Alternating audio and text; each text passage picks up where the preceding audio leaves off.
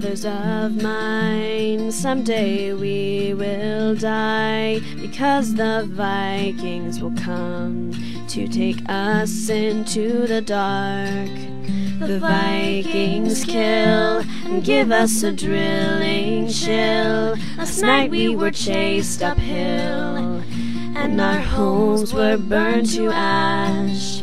If the Vikings and we both become satisfied and we eliminate the no's on our vacancy signs, if there's no one beside you when you face your fate, be bold as our Alfred the Great. Alfred's son Edward saved us in 894 when he defeated the Danes at Farnham.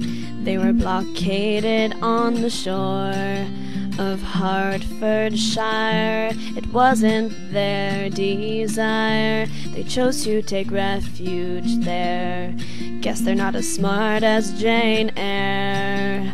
The Vikings and we both become satisfied, and we eliminate the no's on our vacancy signs. If there's no one beside you when you face your fate, be bold as our Alfred the Great. The best known clan of Vikings, the Tilstead clan, tricked us to pay silver to buy off the Danes again. The Danes were impressed that they received more money than they ever could plunder. yeah, yeah, yeah. In the blackest of rooms,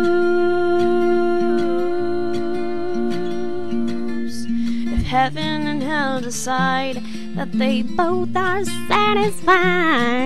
We eliminate the no's on our vacancy signs. If there's no one beside you when you face your fate, be bold as Alfred the Great.